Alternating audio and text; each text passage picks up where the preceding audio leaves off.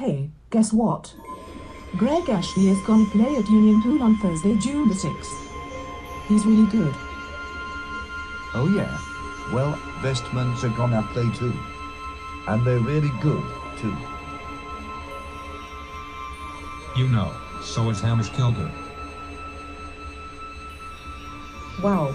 And wildly. Wow. Wow. Wow. Union Pool, June the 6th, 8 p.m.